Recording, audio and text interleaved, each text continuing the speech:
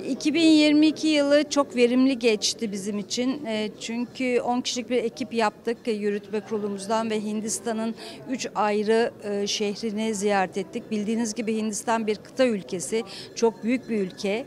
Kendi başına bir kıta olmaya namzet bir ülke ve aynı zamanda insan sayısı ve nüfusu çok fazla. 1.4 e, milyar insan yaşıyor. Çin'i de geçmiş durumda ama da henüz anons etmediler ve çok gelişen, büyüyen bir ülke. Zaten baktığımız zaman üretimin Asya Pasifik ülkelerine kaydığını ve ticaretin özellikle batıya kaydığını gözlemliyoruz. Bunlardan bir tanesi de ve Çin'le baş edebilen ve baş ölçülecek duruma ve seviyeye gelen Hindistan olarak görüyorum.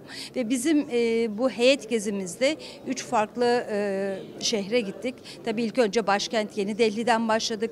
Orada e, çeşitli ticaret odaları, sanayi odaları ve aynı zamanda Invest India olan yatırımlarla ilgili e, departmanları e, ziyaret ettik. Aynı zamanda bakanlığa gittik, Ministry of Industry'ye gittik. Orada güzel e, ikili görüşmeler yaptık.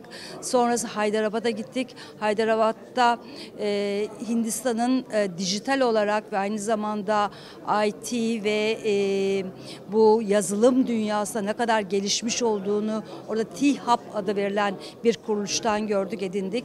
Daha sonra da e, tabii ki ticaretin başkenti olan Hindistan'da Mumbai, Bombay'e gittik ve orada da ikili görüşmeler yaptık. Yine ticaret odaları, sanayi odaları ve aynı zamanda TOB'un e, niteliğini taşıyan e, odalarla birlikte ikili görüşmeler yapıldı. Tüm giden heyet iş yaratabildi. Bildiğiniz gibi e, Hindistan ve Türkiye arasındaki e, ticaret hacmimiz bizim aleyhimizde. Şu an Türkiye 1 milyar dolar ihracat yaparken Hindistan e, 8 milyar civarında yapıyor işte 9 milyar dolarlık bir ihracat hacmine sahibiz. Ama bunu e, Ticaret Bakanlığı'nda yürütmüş olduğu uzak ülkelere e, ticaretimizin artması e, profilinde arttırmaya çalışıyoruz. Görevlerimizden bir tanesi de bu.